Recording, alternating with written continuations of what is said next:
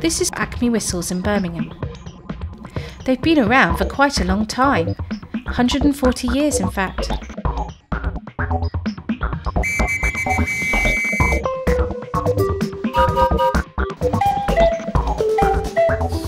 Despite stiff competition from the Far East, they're still very much in business.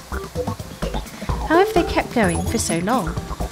Well, one reason is an extremely cautious approach to borrowing and financial control generally. There's an old adage, which, however boring it seems, is true look after the business, and the business will look after you. So rather than taking all the money out and enjoying the new Aston Martin, we'd far rather invest in the business, keep the tooling up to date, make sure that we're doing that with the least amount of borrowing possible. Now, to grow